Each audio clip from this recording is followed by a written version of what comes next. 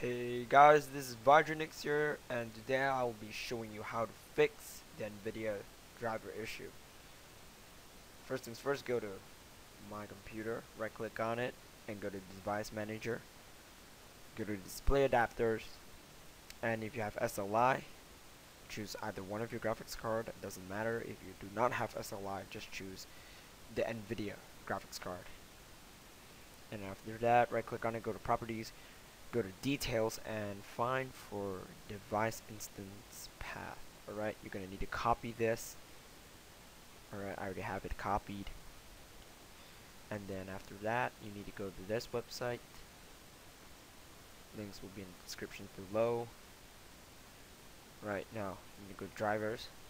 Right and the easiest part is just fill in the blanks. You know fill in the blanks.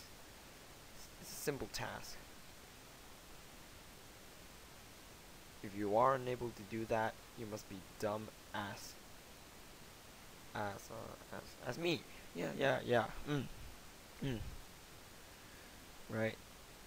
Uh, choose your WHQL certified or not. Language. Right. Order.